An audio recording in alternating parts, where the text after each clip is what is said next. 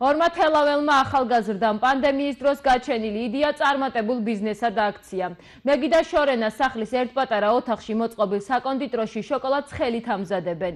თეთრი, შავი, რძიანი შოკოლადი ქართული ჩირის და თხილების შიგთავსით პოპულარული მალე გახდა. ტკბილეული ყველა ასაკისა და გემოვნების მომხმარებელზე არის გათვლილი. რაგზა გაიარეს მეგობრებმა წარმატების მისაღწევად გიორგი ბაღანაშვილის სიუჟეტი. ბევრი არ უფიქრიათ არც ექსპერიმენტებს და გამოწვევებს შეუშინდნენ. ორმა მეგობარმა პანდემიის და ჩაკეტილობის ჟამს ბიზნესის წამოწყება გადაწყვიტა და იდეა მალე რეალობად აქცია. ყველაფერი ნულიდან შექმნეს. ხელით დამზადებული შოკოლადები ახლა უკვე წარმატებული ბრენდია, რომლის სულის ჩამდგმელებიც თელავში ცხოვრობენ. სპეციფიკასთან არის დაკავშირებული და ასევე რისკებთან, რომ არ მენდობოდნენ ჩემი მომხმარებლები, მაგრამ დღეს დაურწმუნდი, რომ თუ შენ საქმე, შენი საქმე გიყვარს და შენი საქმეს გულით აკეთებ, მომხმარებლები მოყვებიან შენ და მათ მოსწონთ ის, რასაც აკეთებ. სანამ ბრენდს სახელს შეურჩევდნენ, ბევრი იფიქრეს, წაიკითხეს და ინტერნეტში ეძებეს. ამის შემდეგ კი ნაწარმს შოკოჰოლიკი უწოდეს და სარეალიზაციოდ ყველაზე მასშტაბური პლატფორმა სოციალური ქსელია არჩიეს.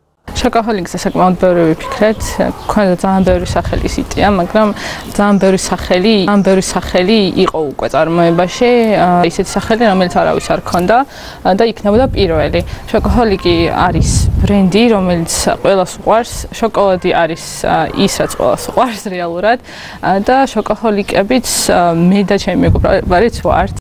მეგი პროფესიით სურსათის ტექნოლოგია, მისი მეგობარი კი გაყიდვებისა და პიარის სფეროში მუშაობს. არც ერთ პროფესიიდან შორს ყოფნა არ უნდა და ამიტომ მეგიმ შოკოლადის წარმოება დაიწყო. შორენა კი მის გაპიარებაზე და რეალიზაციაზე ზრუნავს. დაგეგმილმა მენეჯმენტმა გაამართლა დაახლოებით 1 წლის შემდეგ ცირე ბიზნესი ახლა მათი შემოსავლის წყაროა. სურსათის ტექნოლოგიაში რატომაც კახეთში ესმით მხოლოდ უნდა იყო მეღვინე და მე ცოტა დავანგრიე სტერეოტიპი და არ ვარ მეღვინე და ვარ შოკოლადის წარმოებელი.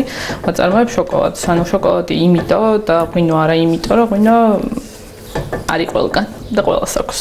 შოკოლადი კახეთში ძალიან ცოტას აქვს და ერთ-ერთი ვარ მე. თავიდან მეგი შოკოლადის მცირე რაოდენობით აკეთებდა. გაზრდილი შეკვეთების შემდეგ კი მიხვდა, რომ საქმიანობას მომხმარებლის მოთხოვნებზე მორგება სჭირდებოდა. ახლა შოკოლადის საწარმოში შავი, თეთრი და რძიანი შოკოლადი მზადდება რამდენიმე სახეობის თხილისა და ხილის ჩირის შიგთავსით. შესაძლოა ითქვას, რომ შოკოლადი ყველა ასაკისა და გემოვნების მომხმარებლის მოთხოვნებს აკმაყოფილებს. ჩემი შოკოლადი მზადდება ნატურალური პროდუქტებით, ნატურალური ჩირებით, რომელიც საქართველოში არის დამზადებული და ჩემი ოჯახის თხილეულობით. ჩვენი შოკოლადი გათვლილი არის ყველა ასაკის და გემოვნების მომხმარებლებაზე. ბავშვებისთვის ვაწარმოებთ როგორც შოკოლადის ფილებს, რომლებიც ფერადია და მოწონთ სამ ბავშვებს, ასევე შოკოლადის ბომბებს. უფრო დიდი მომხმარებლებისთვის გვაქვს ჩირებით, თხილეულობით, რაც ყველას უყვარს, თხილიანი შოკოლადი მეგონი ყველას უყვარს. მეგი შოკოლადის შიგთავსისთვის ქართული ჩირს ყიდულობს, თუმცა მომავალი წლიდან მის გაკეთებასაც თავად აპირებს. როგორც ამბობს, უნდა რომ შოკოლადში შემავალი ყველა კომპონენტი ერთ სივრცეში მზადდებოდეს. უკვე ნაყიდი მაქვს ჩირის აპარატი, რომელშიც დავამზადებ უკვე ამ სეზონურ ხილებს და მომავალი წლიდან უკვე მექნება ჩემი ჩირები და არ არ ვიქნები სხვა დამოკიდებული. სახლის ერთ პატარა ოთახში მოწყობილი საკონდიტრო კი აუცილებლად გაფართოვდება. კონდიტერის სურვილია რომ თელავში გააკეთოს კაფე, სადაც მომხმარებელი საკუთარი თვალით ნახავს შოკოლადის დამზადების ტექნოლოგიას და ისე დააგემოვნებს.